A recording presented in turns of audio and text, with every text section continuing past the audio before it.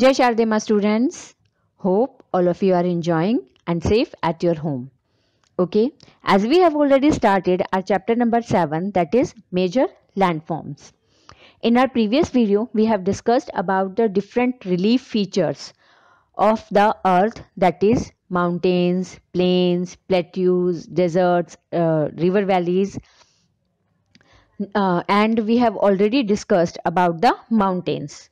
Now in this video we will discuss about the plateaus and plains. Plateaus. A plateau is an elevated landform with flat topped and steep slopes. Plateau क्या होता है it is a elevated landform means ये uh, थोड़ा सा ऊँचा उठा हुआ landform है विच हैज़ फ्लैट टॉप्ड उसका जो सरफेस है वो फ्लैट होता है एंड स्टीप स्लोप्स उसके जो स्लोप्स होते हैं वो स्टीप गहरे होते हैं। The best example for a plateau is a table plateau बिल्कुल एक टेबल की तरह होता है, जैसे टेबल का जो फ्लैट टॉप होता है, वो टॉप होता है, वो फ्लैट होता है। और टेबल की लेग्स होती है, वो ज़मीन से ऊपर होती है, जिसकी वजह से टेबल ऊँची होती है। इसीलिए प्लेट्यूज को टेबल लैंड्स भी कहा जाता है because it exactly looks like the table क्योंकि प्लेट्यूज एग्जैक्टली टेबल की तरह दिखते हैं, इसलिए इन्हें टेबल लैंड्स भी कहते हैं। The climate of a plateau is cool plateau का जो क्लाइमेट है, वो बहुत कूल cool होता है as because the plateaus are at the higher altitude and as we have already discussed जितना ज़्यादा हम हाई एल्टीट्यूड पर जाते हैं क्लाइमेट एनवायरमेंट कूल हो जाता है। It is elevated abruptly from the surrounding lands जो प्लेट्यूज होते हैं, वो अपने नियर बाय लैंड से थोड़े ऊपर होते हैं। The surface of a plateau is often cut off by rivers because की प्लेट्यूज से बहुत सारी रिवर्स फ्लो करती हैं तो इसका जो सरफेस है, वो रिवर्स के ज़रिए कट ऑफ़ हो जाता है। दैट मीन्स रिवर्स का जो वे बनता है, उसकी वजह से प्लेट्यूज में थोड़े से कट्स हो जाते हैं। Almost all the continents have plateaus लगभग सभी कॉन्टिनेंट्स में प्लेट्यूज होते हैं such as South America Asia North America Australia लगभग सभी कॉन्टिनेंट्स में प्लेट्यूज होते हैं।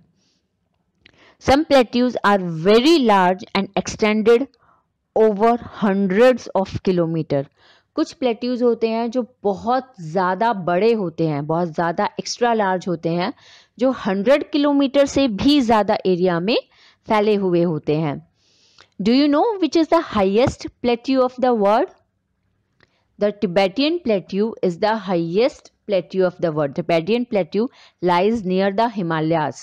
Himalayas के पास जो टिबेटियन प्लेट्यू है that is the highest plateau of the world and it has a height vary from 4000 to 6000 metre इसकी जो हाइट है, वो 4000 मीटर से 6000 मीटर के बीच में वरी करती है। दैट मीन्स किसी एरिया पर ये 4000 मीटर तक है, किसी एरिया पर to four thousand to six thousand के बीच में ये हाई है। So Tibetan plateau is the highest plateau in the world now if we talk about the plateaus in india in india we have deccan plateau malwa plateau chota nagpur plateau bundelkhand plateau these are the plateaus which are found in india okay Large parts of Asia, South Africa, North America and Australia have the plateaus. See, you have given the picture of Deccan Plateau. Okay, one more thing. The Deccan Plateau of India is also known as the Peninsular Plateau.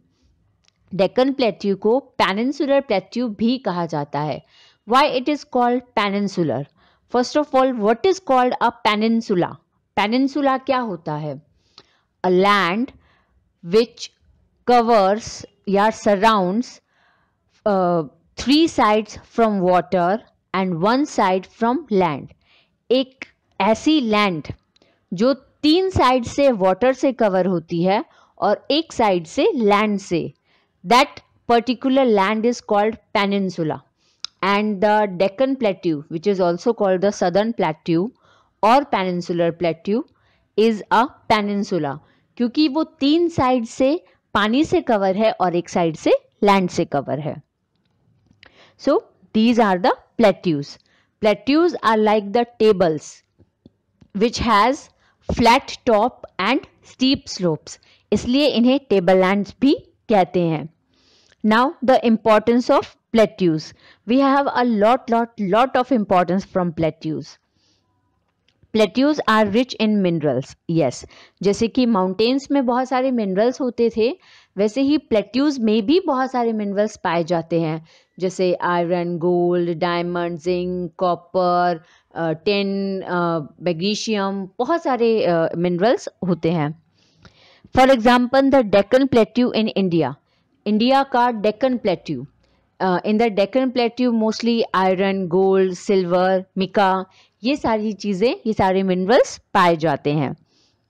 Now plateaus are also good good for rearing cattle and sheep because of their grassland because की plateaus का जो surface होता है, वो flat होता है तो वहाँ पर ग्रासेस इजीली ग्रो हो सकती है। तो वो कैटल्स और शिप की रियरिंग के लिए बहुत ज़्यादा यूजफुल है। Next the black soil of peninsular plateau that is Deccan plateau of India is fertile and very uh, and very good for the cotton and sugarcane. Yes, Deccan Plateau of India which is also a volcanic plateau because ki wo lava se bana hai. But how it is possible? क्योंकि Deccan area में India के southern area में कोई volcano तो है नहीं then how it is form yes it is forms from the lava ये lava से बना है। The lava come out from the earth from cracks and fissures इस एरिया में कुछ क्रैक्स और फिसर्स से लावा बाहर निकला और वो कूल cool डाउन होकर एक प्लेट्यू की फॉर्म में कन्वर्ट हो गया which is known as Deccan plateau as it is formed from the lava it is rich in black soil यहाँ पर ब्लैक सॉइल बहुत ज़्यादा होती है and that black soil is very good for the growth of cotton and sugarcane तो Deccan plateau में cotton और sugar cane को आ, का ग्रो बहुत ज़्यादा होता है।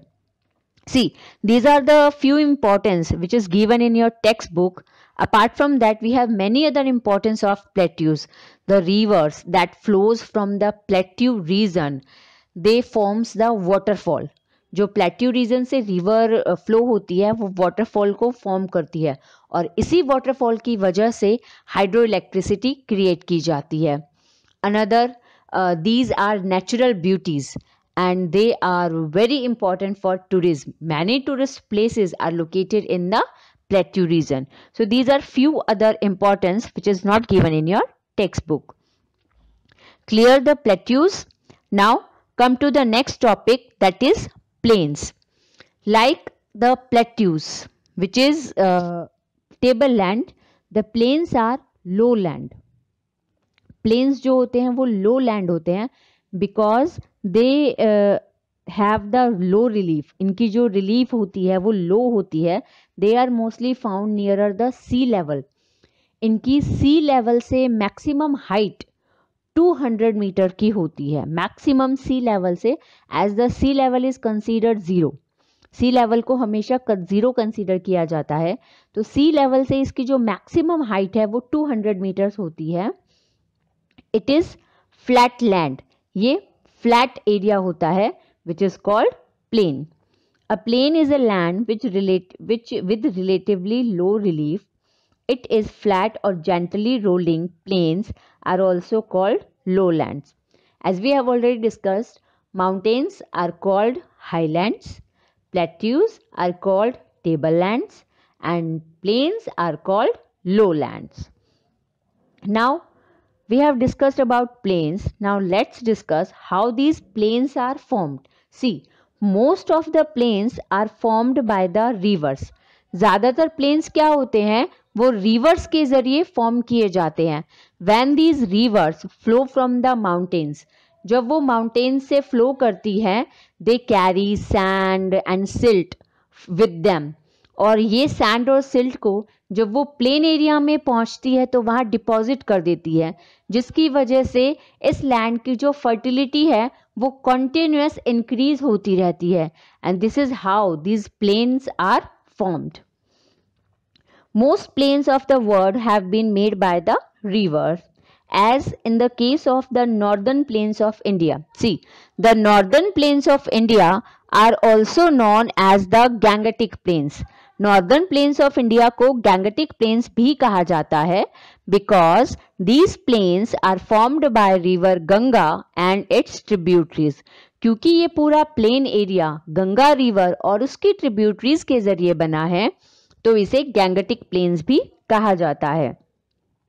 River bring fine silt with them with which they deposit in the river valley जो ये रिवर्स माउंटेन से फ्लो करती हैं तो ये सिल्ट और सैंड को अपने साथ कैरी करके ले आती हैं और रिवर वैली में डिपॉजिट कर देती हैं। Fertile plains are formed by these deposit और इन इन डिपॉजिट्स की मदद मदद से जो प्लेन होता है, वो बहुत ज़्यादा फर्टाइल होता है। Fertile plains are far more thickly populated than the mountains and plateaus. जो प्लेन्स होते हैं, वो माउंटेन्स या प्लेट्यूज के बजाय ज़्यादा हाई पॉपुलेटेड एरियाज़ होते हैं। बिकॉज़ कि प्लेन एरिया में फैसिलिटीज़ ज़्यादा होती है, बजाय के प्लेट्यूज और माउंटेनियस एरिया में। Which are these facilities? See, because crops can be easily grown there due to the easy availability of water. क्योंकि रिवर एटलास प्लेन एरिया में फ्लो करती हैं तो पानी आसानी से मिल जाता है, जिसकी वजह से यहाँ पर एग्रीकल्चर बहुत आसानी से किया जा सकता है। Some plain areas are near the sea coast कुछ प्लेन एरियाज़ जो होते हैं, वो सी कोस्ट के पास भी होते हैं which are known as the coastal plains जो सी कोस्ट नदियों के या समुद्र के किनारे पर होते हैं उन्हें हम कोस्टल प्लेन्स कहते हैं। While some are in the interior of continents और कुछ प्लेन्स होते हैं जो लैंड uh, के कॉन्टिनेंट uh, के बीच में होते हैं such as the Gangetic plains now next is the importance of plains plains हमारे लिए कैसे इंपॉर्टेंस है? उनकी हमारे लिए क्या क्या इंपॉर्टेंस है?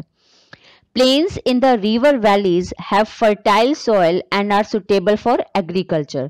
जो रिवर वैली में प्लेन्स होते हैं, उनकी सॉइल फर्टाइल होती है, क्योंकि वो कॉन्टिन्यूसली रिवर्स के फ्लो की वजह से जो सैंड और सिल्ट वहाँ डिपॉजिट होता रहता है, इनकी फर्टिलिटी इंक्रीज होती रहती है, जिसकी वजह से ये बहुत फर्टाइल है और एग्रीकल्चर के लिए मोस्ट सुटेबल है settlements and life in the plain is easy यहाँ पर लाइफ रहना और सेटलमेंट ज़्यादा इजी होती है। बिकॉज़ कि प्लेन एरिया में कोई भी कंस्ट्रक्शन हुआ या कोई भी वर्क हुआ, वो आसानी से हो सकता है। जैसे नेट नेटवर्क ऑफ़ कम्युनिकेशन या network of that railways and bus routes that can be formed easily so plain area में जो सेटलमेंट्स क्रिएट करना है, वो ज़्यादा इजी होता है, बजाय के प्लेट्यू और माउंटेनियस एरियाज़ के। That is why the most of the big cities and towns are located in plains यही रीज़न है कि ज़्यादातर जो बिग सिटीज़ और टाउन्स होते हैं, वो प्लेन्स में लोकेटेड होते हैं। It is easy to construct roads railways aerodromes industries and houses in the plain plain area में ये सारी चीज़ों का कंस्ट्रक्शन बहुत इजी होता है। बिकॉज़ माउंटेन में माउंटेन और प्लेट्यूज में कंस्ट्रक्शन थोड़ा डिफ़िकल्ट होता है बट प्लेन एरियाज़ में कोई भी कंस्ट्रक्शन हो, किसी भी तरह का हो दैट इज़ वेरी इजी तो इन सारे रीजंस की वजह से जो प्लेन एरियाज़ होते हैं, वो थिकली पॉपुलेटेड होते हैं। दैट मीन्स हाईली पॉपुलेटेड होते हैं देन द माउंटेन और plateau region okay clear Now we have complete the two topics that is plateaus and plains. Now for the next topic we will meet in another video. Till then stay home, stay safe. Bye.